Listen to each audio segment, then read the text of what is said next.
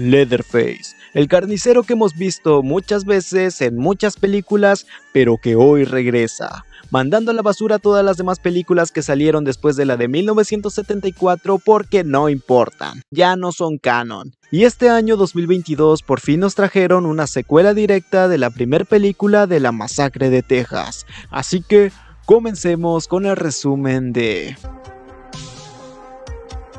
La película empieza con un documental donde están contando la masacre de la primera película y hablan sobre Sally Hardesty, que fue la única sobreviviente de los ataques de Leatherface. Aquí conocemos a Laila, quien está en una gasolinera bastante rara porque parece que Leatherface y la historia de la masacre de Texas es toda una sensación en ese lugar. Y el encargado le cuenta que Sally Hardesty se volvió una ranger de Texas y estuvo buscando a Leatherface como por 40 años, pero al estar escondido tras una máscara es bien difícil dar con él. También conocemos a la hermana de Laila llamada Melody, a Dante y a Ruth que viajan a un pueblito olvidado por Dios llamado Carlow, porque ellos tienen el sueño de montar negocios y revivir el pueblito. Sí, sí, qué bonito.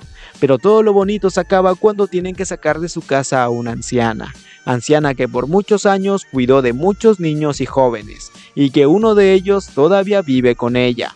Sí, yo lo pensé, Tú lo pensaste, todos lo pensamos. Los policías obligan a la pobre señora a irse, pero a la señora le termina dando un patatús y deciden llevarla al hospital con su hijito el grandulón. Y Ruth dice que ella puede acompañarlos porque Melody y Dante tienen que recibir a un grupo de inversionistas influencers y bien fresas. Sí, sí, pura generación de cristal. Pero si les soy sincero, esta trama está bien aburrida, no es importante y mejor vamos a lo bueno. Mientras conducían al hospital, lamentablemente la señora estira la pata, cuelga los tenis, se la cargó el payaso.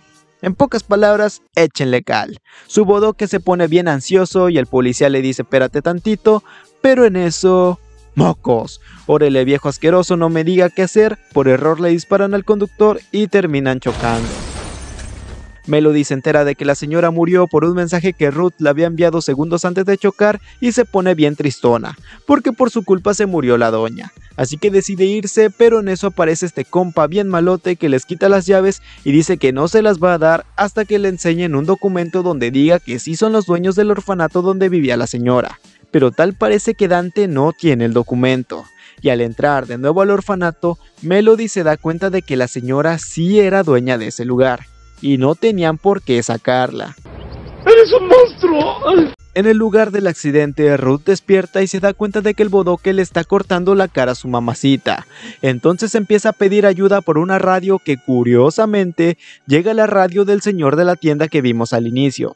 Este escucha todo y se da cuenta de que se trata de Leatherface, y curiosamente tiene el contacto de Sally Hardesty, quien por años se estuvo preparando para este día. Así que toma sus cosas y vámonos a Harlow que hoy se cena. ¡Cielos, qué macizo! Leatherface se pone de máscara a la cara de su mami y mata a todos, no hay más. En el orfanato, Dante sigue chismeando por aquí y por allá, hasta que en el reflejo de una olla, a su mecha, le meten un trancazo que le borra el System 32 y Melody se da cuenta de esto, así que sube a esconderse. Se esconde por aquí, se esconde por allá y Leatherface anda tan triste, tanto que si hoy pierdo yo, pierden todos y empieza a romper una pared donde estaba oculta su majestuosa y legendaria motosierra. ¡La sierra! Dante al parecer todavía estaba vivo y sale de la casa a avisar a todas las demás personas que ahora estaban dentro del camión porque había empezado a llover. En eso se encuentra con el malote que le quitó las llaves y junto a su pistola van a investigar quién le dio un soplamocos al pobre Dante. Leatherface, nada tonto, se esconde, pero la Melody también, nada tonta, mueve un espejo para que el pistolero pueda ver a Leatherface y se armen los guamazos. Tiger, tiger, uppercut, tiger, knee. Hit it.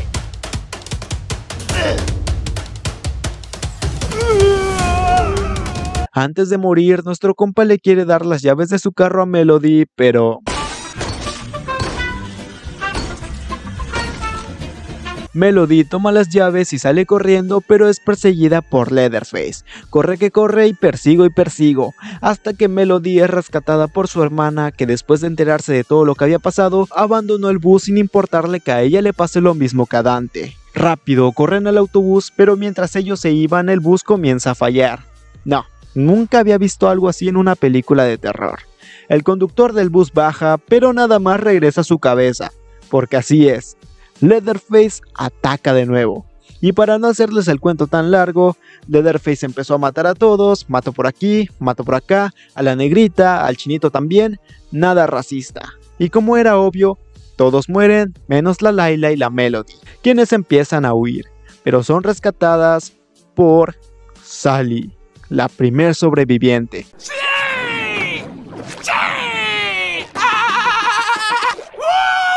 Pero no cantemos victoria, porque la Sally está media loca y encierra a las hermanas en su camioneta, y dice que no se van a ir de ahí hasta que ella mate a Leatherface. La vieja loca y bien valiente va a buscar a Leatherface hasta su casa a decirle baje guacho, baje cagón, pero Leatherface le dice vieja loca, yo ni la conozco y nomás se va en busca de Melody y Laila. Las hermanas andan bien tristonas y en eso aparece Leatherface a matarlas y está a punto de cortarle la pata a Laila hasta que mocos. Déjese venir, viejo lesbiano, qué miedo, yo mejor me voy. La Sally le da las llaves de su camioneta a las chicas porque nomás la andan estorbando, pero en eso regresa el Leatherface y se comienza a pelear con la Sally. Y órale, vieja chiflada, nomás viniste aquí a morir, ni que fueras la Sidney Prescott para durar cinco películas, órale, váyase para allá. Las hermanas quieren atropellar a Leatherface, pero Leatherface es bien inteligente y les avienta la motosierra provocando que choquen.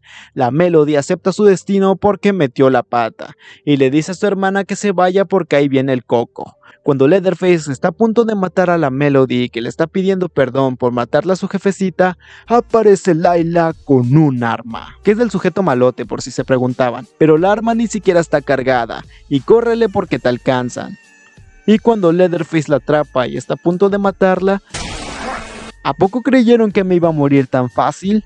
La vieja Sally le dice que está el arma y que no huya porque si no la va a volver una vieja loca como ella. Y eso hace. Va en busca de Leatherface a matarlo, pero Leatherface le tiende una trampa y órale la lanza de Ledge, cuenta de tres, ganan los malos. Nah, no es cierto, porque la Laila se aferra, Leatherface le vuelve a aventar la sierra y antes de que llegue por la escopeta la alcanza Leatherface.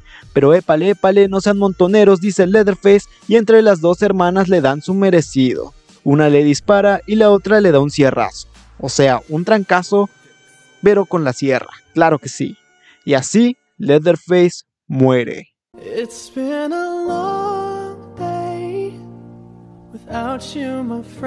Nos descuidamos y ya es de día, las hermanas deciden irse en el que sí es su carro, pero ponen el piloto automático.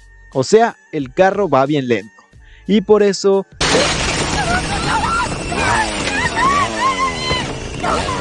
Letterface le corta la cabeza a Melody y Leah termina huyendo en un vehículo como en la primera película y Letterface da vueltas como en la primera película. Y así termina la masacre de Texas.